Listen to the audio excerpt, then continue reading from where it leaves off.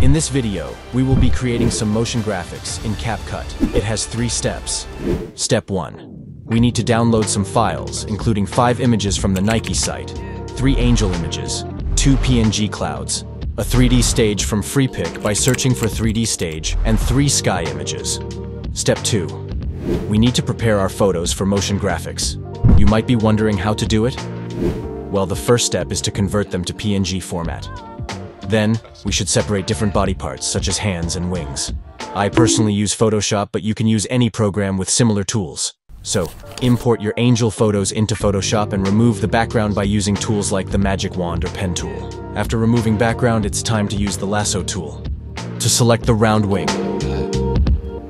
Once the wing is selected, press Ctrl X to cut it. Next, press Ctrl V to paste the wing into a new layer. Finally, Move the wing layer under the body layer. Alright, now it's time to use the lasso tool once again. Select both the hand and the flower at the same time. Once the hand is selected, press Ctrl X to cut it. Next, press Ctrl V to paste the hand into a new layer. Now, you need to clean up the edges of the hand by using the eraser tool.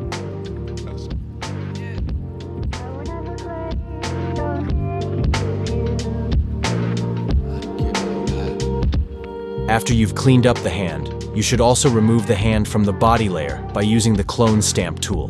Hold the Alt key to choose the target area. Then, press the left mouse button to draw it wherever you want. The clone stamp tool allows you to choose an area and then draw it onto another area, effectively cleaning up the hand on the body layer.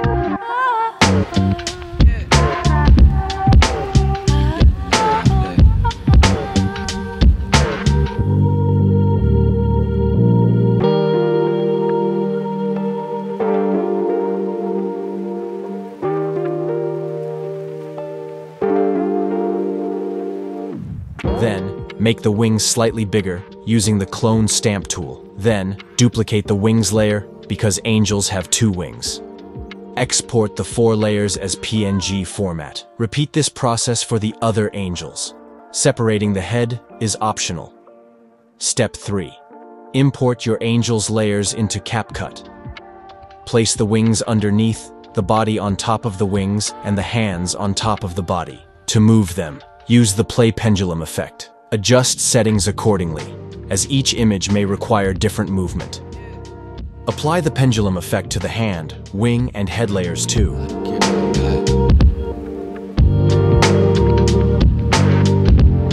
Remember that all layers should have random movements.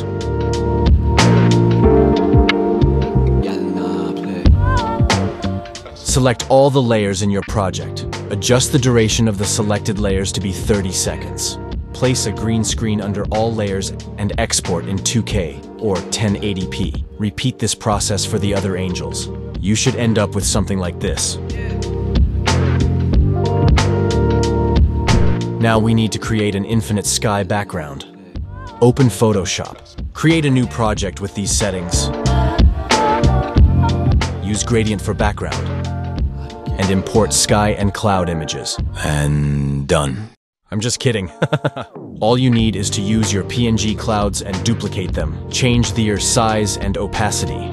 Then use some sky image. Change blend mode to overlay or screen. Then use eraser tool. Big size and less hardness to clean harsh edges. And done. And now you are God. I'm just kidding. All of us are God. Or Master, or Bob Ross. Leave me alone. Back in CapCut, Import the sky background into the timeline and scale it to fit the screen. Create keyframes to animate the sky moving upward. Increase the duration of the sky layer to 30 seconds as the entire project should be 30 seconds long. Then, extend the second frame until the end of the layer so that the sky movement lasts for 30 seconds.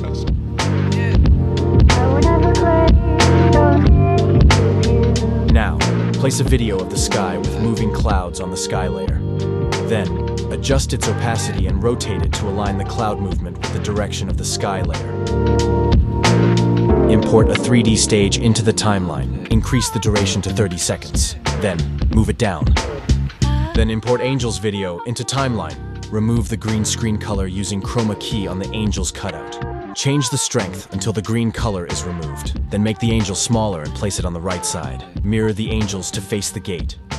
Repeat this process for the other angel too.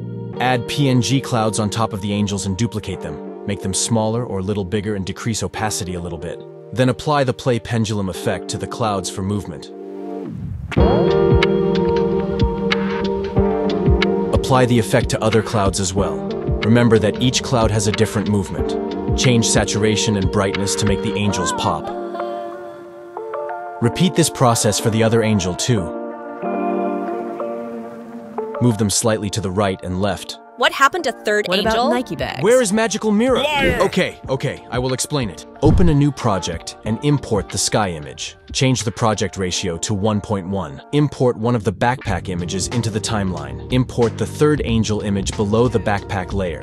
Adjust the size and rotation of the third angel image to make it appear as if she is holding the bags in her hand. Duplicate the angel layer for the other bags. Import another bag on second angel layer.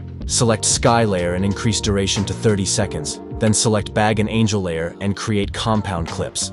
Apply Play Pendulum effect on it for create some movement like she flying. Then go to Animation part. Use Slide down for in with 0.7 duration. And use Slide right for out with 0.7 duration. Repeat this process for the other angels.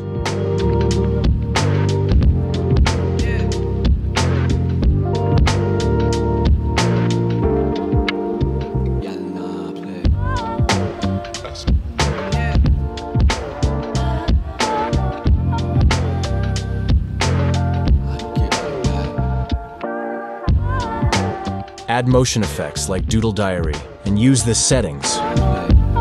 Add and rebound swing to the sky background.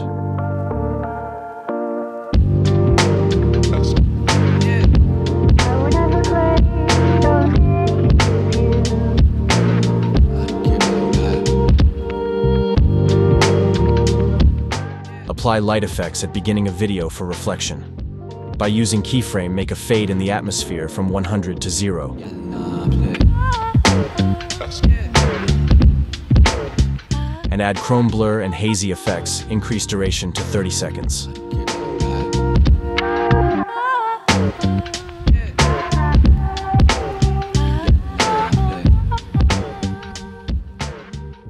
Now you have a magical mirror. You can use other effect too if you want. Then export it as 2K or 1080p. Import the magical mirror video into the original project. Resize and mask it with a circle mask to fit the stage.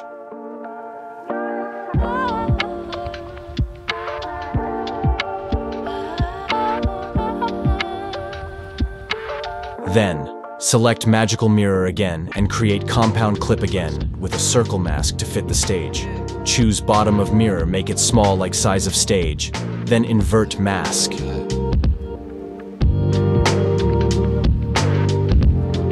Now Mirror is behind stage. Use Fade in Animation for visibility. Apply Blue Mosaic to the sky background for texture.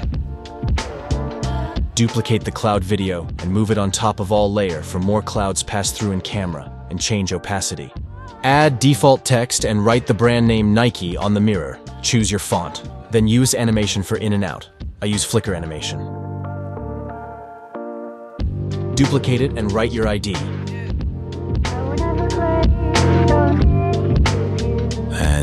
Done. Thanks for watching. If you enjoyed this video and found it helpful, don't forget to like video, subscribe, and hit the notification bell to stay updated. And stay creative. See ya.